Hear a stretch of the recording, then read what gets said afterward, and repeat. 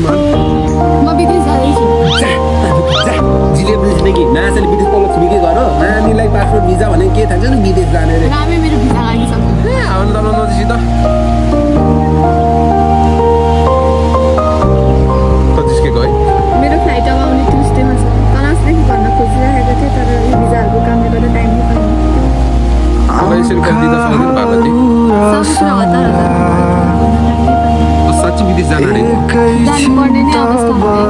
विदेश जान आँटेको कुरा त मलाई अहिले भन्दैछस् मजाले भन्न टाइम नै पाएको थिएन अनि अझै एउटा कुरा भन्नु छ।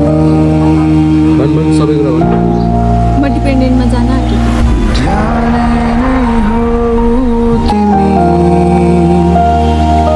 छाडी संसार सबै।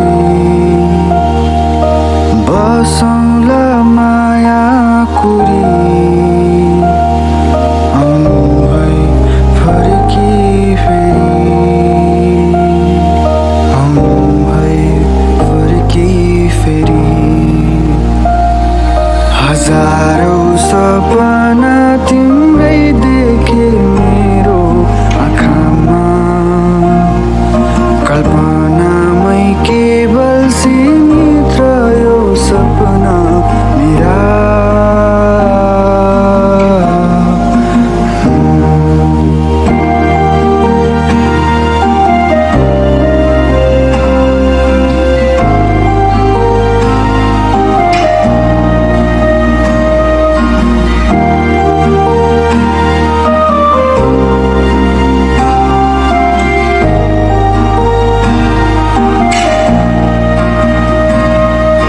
सम्झिरहेको छु म।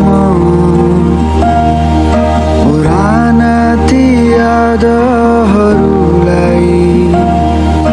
संसारभरिकै खुसी